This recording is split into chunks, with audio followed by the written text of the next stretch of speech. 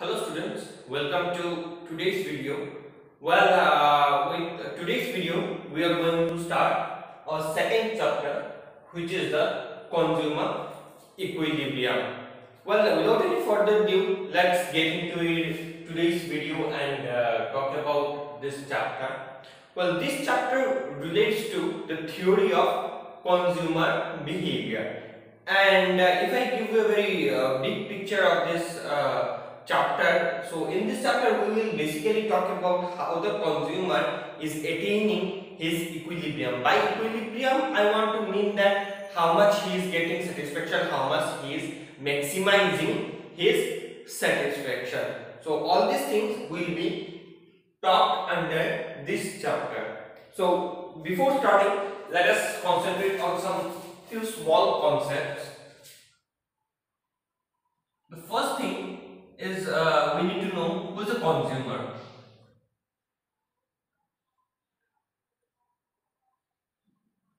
So, consumer is a person who buys various goods and services with the help of his given income in the view of maximizing his satisfaction. So that means consumer is a person who has some given amount of income, he has some income in his pocket, he has some money in his pocket and with the help of that money, whatever he has in his pocket, he tries to buy some goods and services and by buying them, he basically wants to maximize his satisfaction.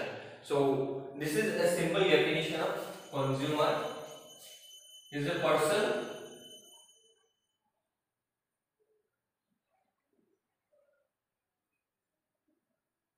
He is a person who buys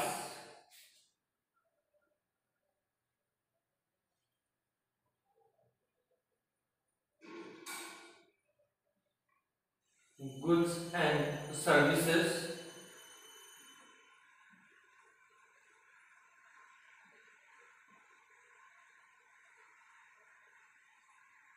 with the help of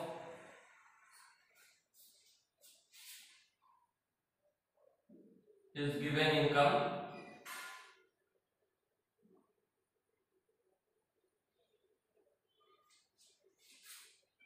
in order to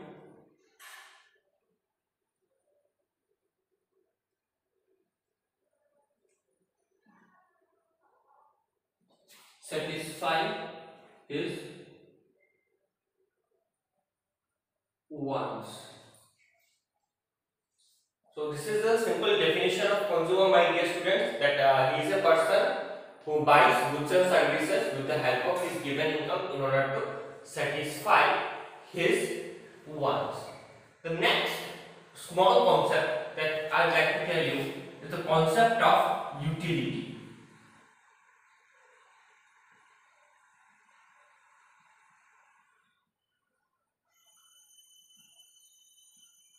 The concept of utility is basically associated with the satisfaction of our want.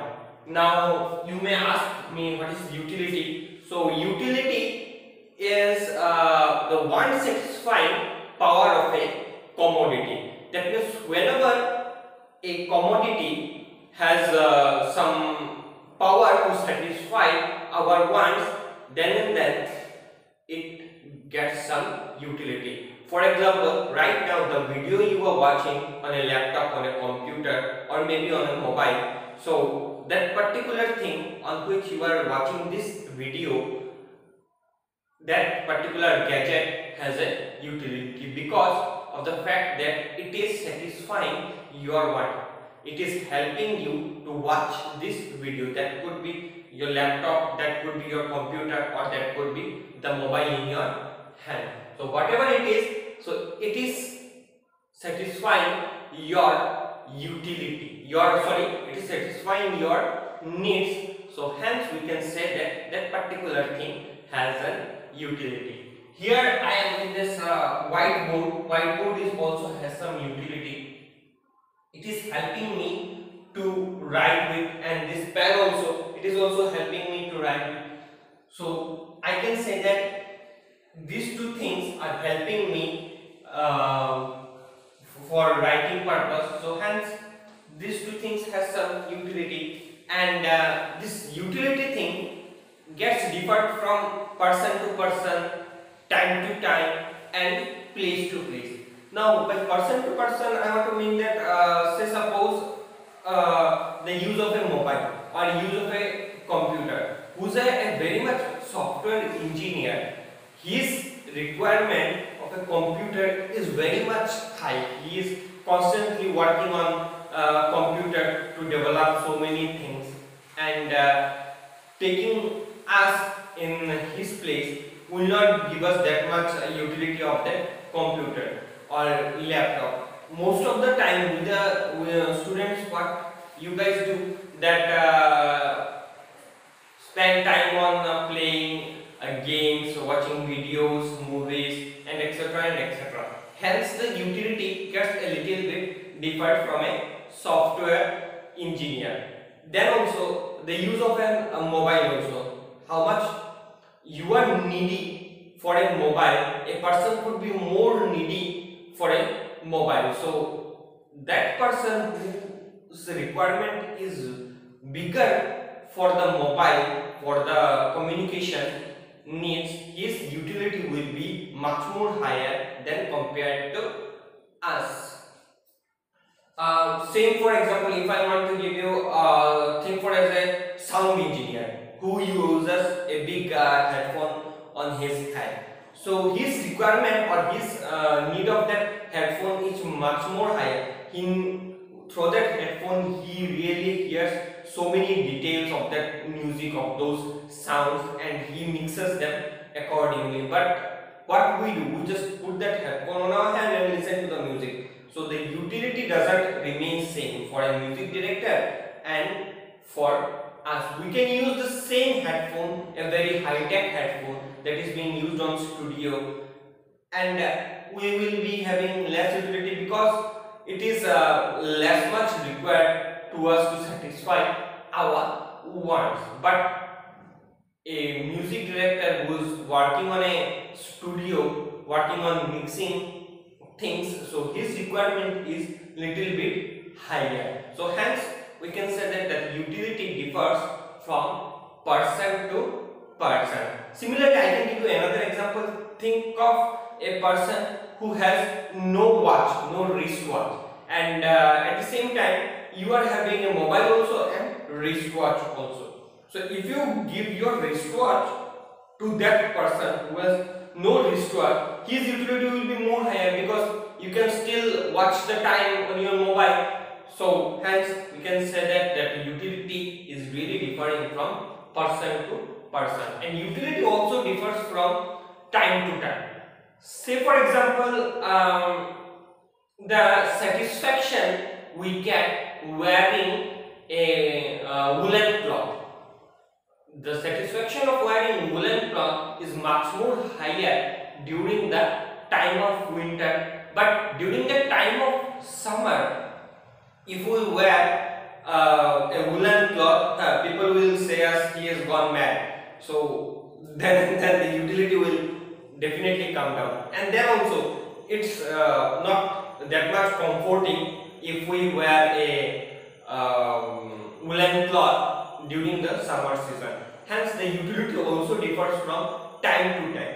During the summer season, the cotton cloths or the fans or the ACs have more utility because they are more of uh, in need to satisfy our what that means to uh, satisfy our heating needs to cool us and uh, during the time of winter the woolen cloths are in more need to keep us warm to save us from the cold.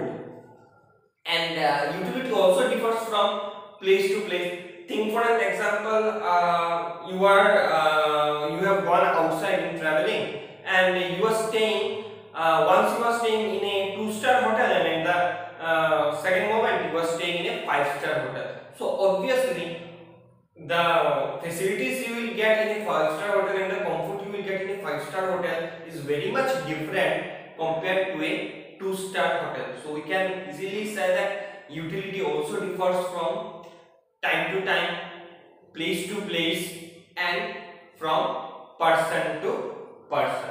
So this is the utility that it is the one satisfying power of a commodity. It is the one. Satisfying power of a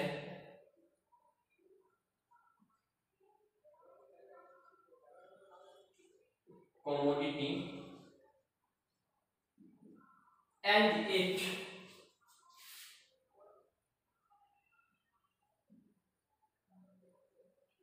differs from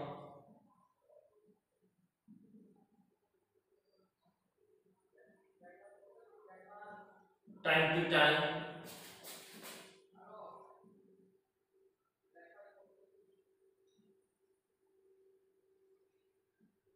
Time to time place to place and person to person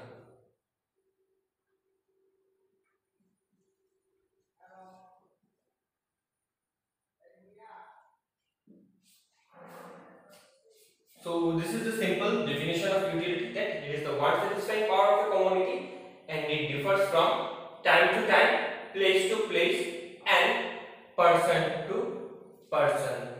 Well, this utility is something different from what we know is usefulness.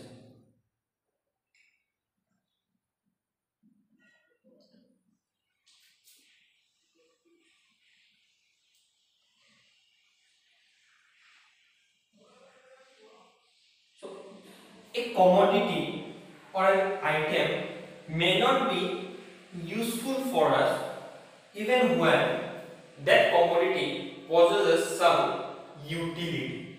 By utility, we mean that it is the one satisfying power of a commodity. And by usefulness, we mean whether that particular commodity is good for us or it is bad for us. That means whether the particular commodity has some positive impact on us or negative impact on us. If it is increasing our well-being, the commodity is increasing our well-being if it has some positive impact on us, that means that particular commodity has some usefulness. For example, uh, say suppose uh, smoking of cigarettes or drinking alcohol it is injurious to health and it is uh, not at all increasing our well-being. So hence we can say that this uh, particular commodity that uh, cigarette or alcohol it is not useful for us. But think closely whether it possesses some utility or not. Yes, true. It is having some utility. Even if it is not useful for us, but a person who is a smoker or who is a drunkard, that particular cigarette and uh, that bottle of wine or bottle of alcohol or anything is satisfying his or her wants.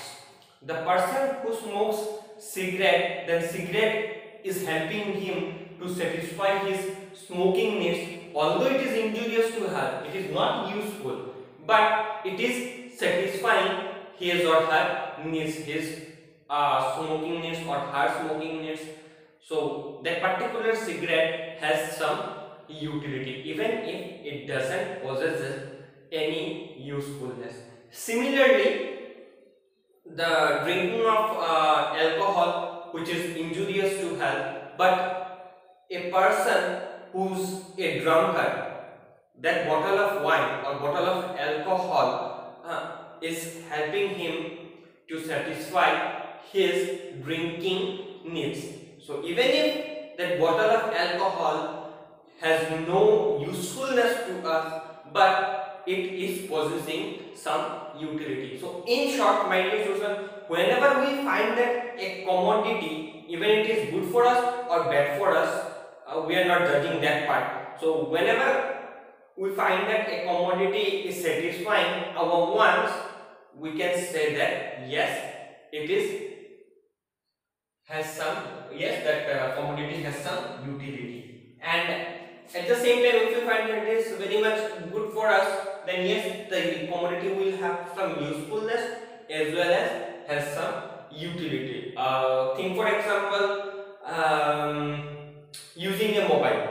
With the use of mobile it really helping us uh, our needs our communication needs and so many other needs also so that particular mobile has utility and whether it is useful or it is not useful for us. Yes it is useful for us.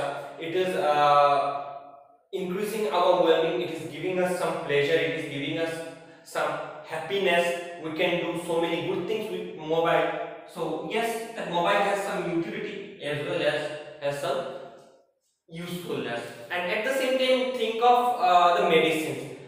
I'm sure in your life till now you have tasted some medicines which are so much bitter in taste. If you uh, take one spoon of medicine into your mouth and you just want to throw it right away. But what to do? You were sick, you had to swallow it. So we can say that medicine was those bitter medicines was not at all useful. But yes, it is having some utility. It was helping you to satisfy your needs. I mean it was it is uh, helping you it was helping you to satisfy your illness needs it is helping you it was helping you to cure yourself but as it was bitter in stage we can say that that was not very much useful to us but for the sake of uh, getting cured we had to swallow it so that thing that medicine was really has some utility even though that was not useful. So this is the small difference between usefulness and utility. So I hope you have got that. Well, uh, the next thing we will discuss the next concept. Well, my dear students, let me tell you, all these things uh, we are dealing in this video are basically various concepts that are associated with this chapter and we will coming to this concept again and again and again. And these concepts are also being asked in exam level also. So I request you to please go through all these concepts what I am uh, discussing in this video so that you do not find any problem. Well, the next thing we're talking about is the cardinal utility.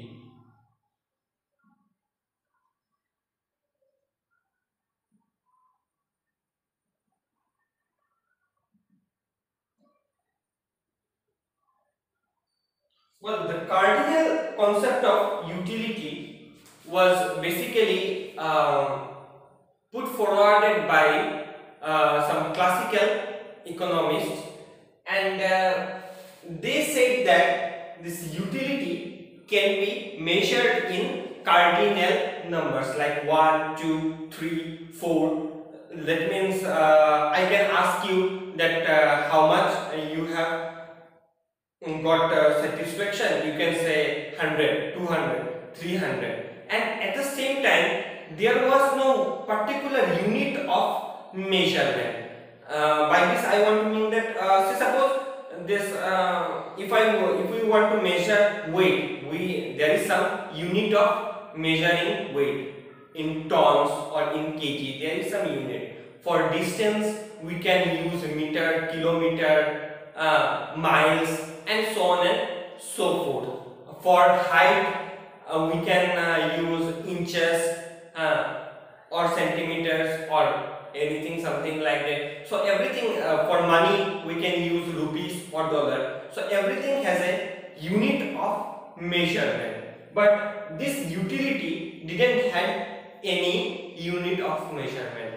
Hence when the concept of utility was first getting formulated so classical economists give a psychological name that it is utils and they refer to that that utility is entirely psychological concept and it can be measured in cardinal numbers like 1, 2, 3, 4 and the unit of measurement is a psychological unit which is called as utils. Like I can ask you, uh, suppose you are writing with a pen and uh, I have asked you that uh, hey, uh, what is your utility level and you can tell me that uh, my utility level is uh, 200 utils. Some other guy can say that my utility is uh, 10,000 utils. So it's entirely psychological and it differs from person to person. So I am writing cardinal utility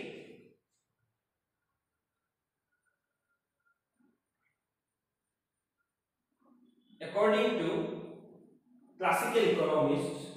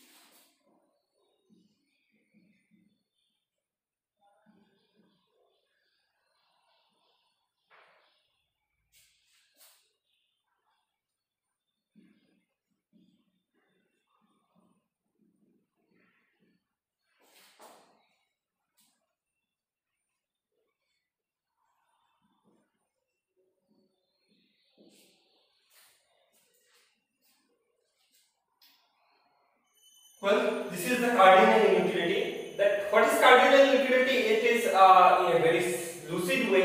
If we want to say that what is cardinal inutility, that according to classical economics, that utility can be measured in cardinal numbers 1, 2, 3, 4, etc.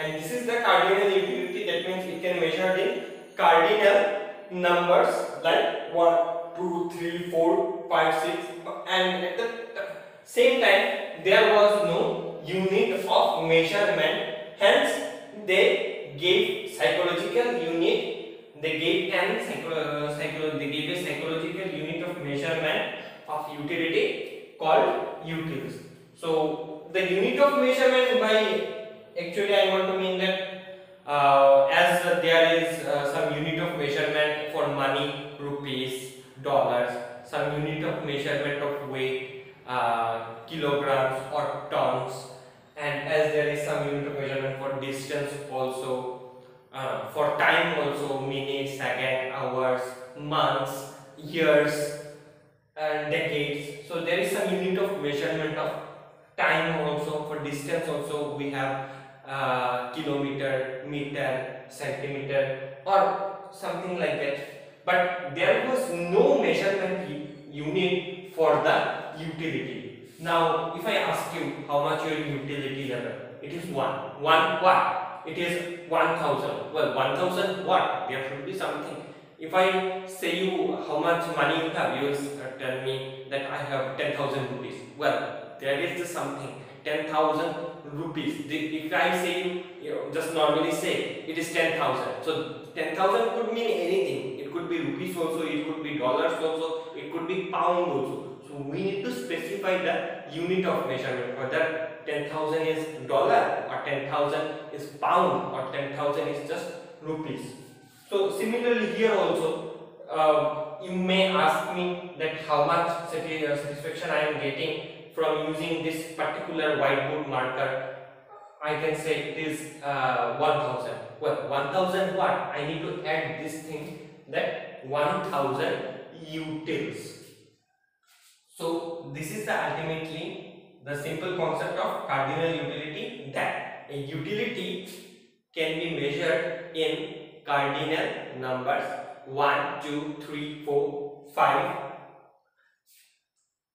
and uh, as there was no measurement of uh, particular measurement unit of utility so classical economists have also given psychological unit of measurement which is called the utils so i can now ask you that how much uh, utility you are having from uh, wearing a wristwatch. You can tell me that uh, you are having uh, 5100 utils. Some other can say that uh, according to his way that he or she might be having 10200 utils. So ultimately the main idea is that it really differs from person to person time to time and place to place the satisfaction i will have wearing a uh, wristwatch, if the same wristwatch is being worn by you, you will be having some different kind of satisfaction. So utility and the satisfaction thing is really entirely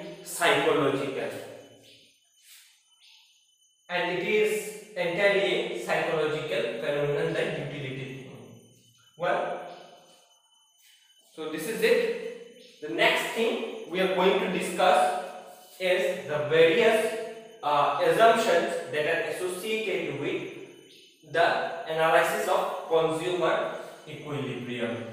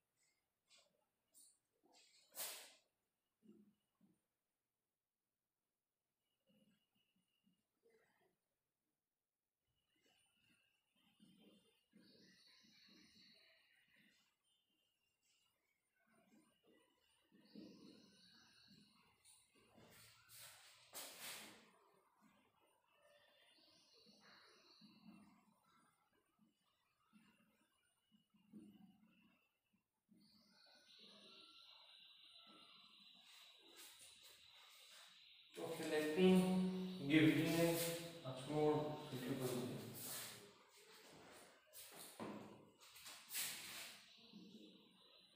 Well, my dear friends, uh, I forgot to tell you at first that uh, in the consumer equilibrium chapter, we will be dealing with two types of utility concepts. One is cardinal utility concept and another is ordinal utility concept. The cardinal utility we just write down we learned that uh, it is a type of utility which can be measured in cardinal numbers 1, 2, 3, 4, 5 and so on and so forth. And uh, as the chapter will proceed, we will come to another one which is called the ordinal utility analysis. In ordinal utility analysis, uh, the name itself suggesting that it is something related with ordering. So we will be ranking our utility preferences.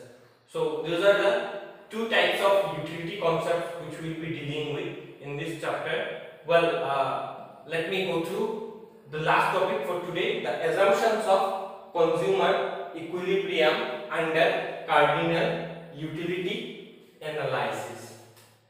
So the first assumption is that consumer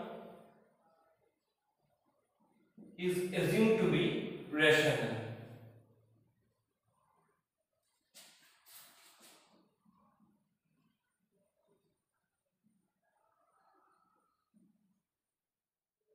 Consumer is assumed to be rational and by rational I want to mean that that he is assumed to be rational in the sense that he always tries to maximize his utility, maximize his satisfaction. Uh, let me give you an example, you will understand. Say for example, you have gone into shopping and uh, going into shopping while uh, talking with the salesman the main goal in your mind is that how to decrease the price. Even if you can get it free it is even good. Then and then you will be having much more satisfaction. So the main concentration of yours is to decrease the uh, selling price and uh, get as minimum price as possible.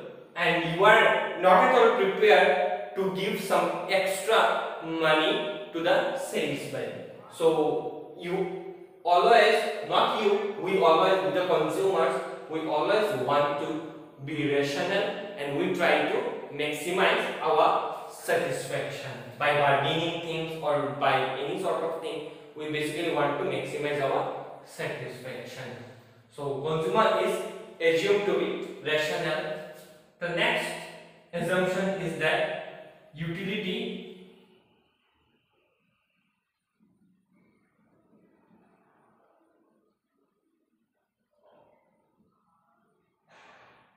can be measured in cardinal utility can be measured in cardinal numbers finally there is something operation of uh, diminishing marginal utility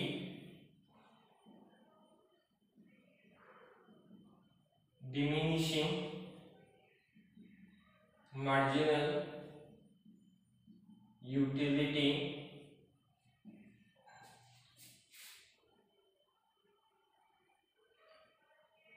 is associated diminishing marginal utility is in operation. Well uh, my dear students look in this chapter also we have got this marginal concept so this marginal concept will be coming over and over again throughout the entire uh, life of economics.